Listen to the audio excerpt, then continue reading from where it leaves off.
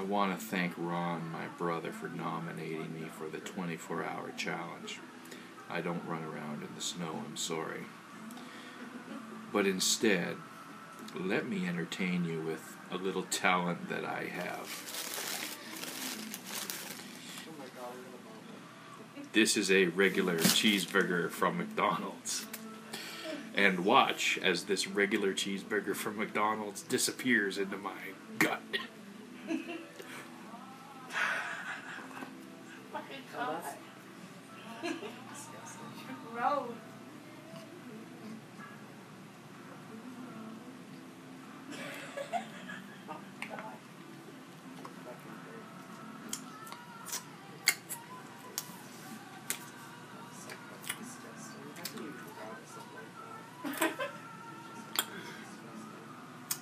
Well, now, to the matter of business.